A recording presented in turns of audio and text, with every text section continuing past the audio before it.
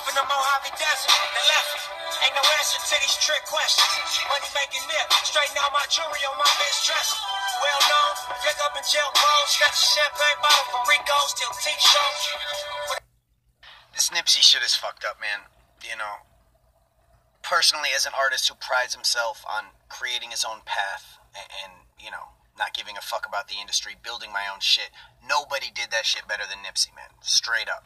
And I remember up on the mixtape circuit, you know, DatPiff back in the day, he was always up there. He started doing it the same way as any authentic MC in that era, and he built his shit up over years and years, hard work, determination. Like he did everything right. He built a legacy and earned the respect of the entire game. And it's just a fucking shame to see it, man.